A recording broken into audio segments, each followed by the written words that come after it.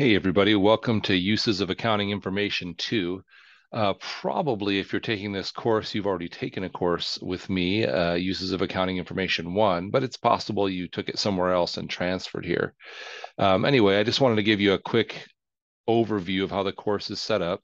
Um, so here I am on the homepage of the course. Um, at the top, you'll have announcements please check those when I post something there. It's usually something important. Yeah, um, I mean, weekly I usually put out um, just what to expect for the next week, which is kind of important. But also I put out more important messages as well. Um, so check that each week. Um, of course, you know the syllabus link is where you can see the syllabus, uh, which has everything kind of spelled out for the course, what to expect. Um, it also has my contact information, uh, a link to my Zoom room uh, if you need it. And at the very bottom, it even has a summary of all of the, the assignments uh, and when they're due.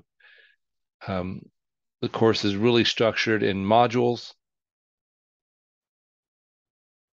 So you'll you'll click on the modules and it will lead you in here to the Canvas overview, um, and then a welcome and a begin here. Um, some textbook information. Again, we continue to use the Cengage uh, books and the Cengage homework system um, because of the cost, and really, it's it's about as good as all the others. None of them are perfect, um, um, and each has its own challenges. But the fact that you can buy um, for one fee, you can get all of your Cengage uh, course materials uh, is very attractive to us, uh, and hopefully, it's saving you some money. So just so you know, in case you didn't take the course here, um, uh, will allow you to uh, pay a single fee, and then all courses that use Cengage, which I think right now is about 12 or 14 of our business courses, uh, are included uh, in, in that price. So if you, you, can pay for four months, which is one semester, a year or a two-year access. Uh, and actually, the prices have gone up a little. I'll have to update this. I think it's 124 for four months um, and 189 and or maybe even 199 and 249 um, and then you can also if you want to you can get a hard copy of the book sent to you for use during uh, the the four months of the course. So um, that's how it's set up. Let's see. So the other thing in the modules again i'm guessing most of you know this because most of you took accounting one but uh, the modules are set up with an overview and to-do list, which tells you what to expect for that week, a link to the textbook for reading that chapter. You really should read through it. I know a lot of people try to get through these courses without reading. I'm not saying read it. You don't have to read it cover to cover, but read through the chapter and familiarize yourself with the material. Um, there's also additional study resources that people sometimes miss. Um, that includes a, lecture video uh, that I've recorded from class. So it can be kind of long, but you can just skip through and find the parts you need. But also videos from web-based resources that I've sort of curated uh, and found in there. Most of those are shorter, six minutes, eight minutes. Uh, and sometimes links to other places uh, like like Accounting Coach or other websites that I think are valuable to you. So don't miss out on those, especially if you're struggling with something. Know that I've put um, a bunch of additional study resources with each chapter. Um, then there's the individual assignments um, and and so forth. Uh, when you get into the next chapter, chapter 16, just like in accounting one, if you took it with me, uh, there's also a guided assignment each week.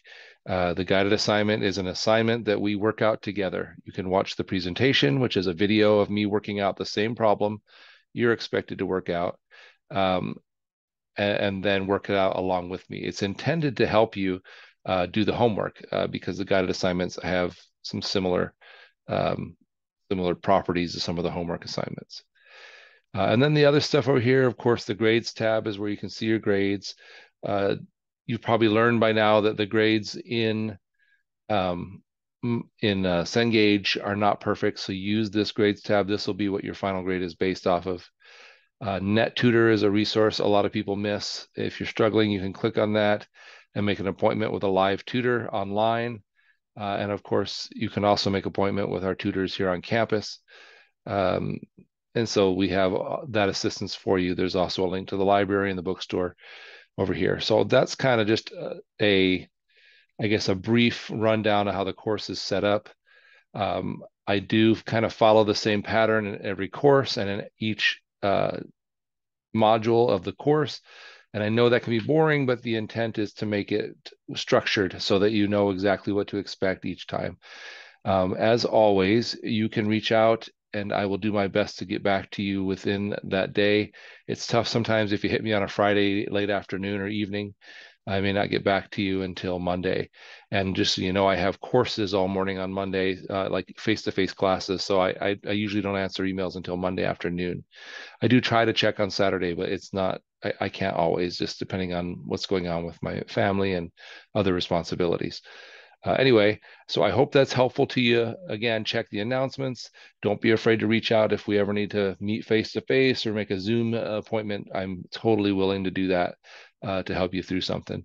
Um, have a great semester and uh, don't be afraid uh, to reach out if you need help.